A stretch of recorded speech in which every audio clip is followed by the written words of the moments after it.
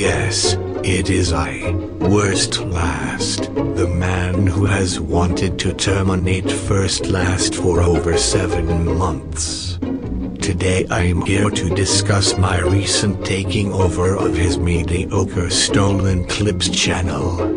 It was easy really, all I had to do was guess his password and get into his account and delete all the stolen clips.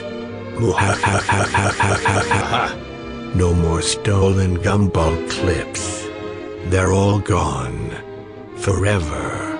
And ever and ever and ever and ever and ever and ever. In other news, you should watch the worst last movie, releasing July 28th, because I'm in IT. I reeked first last and his bad memes.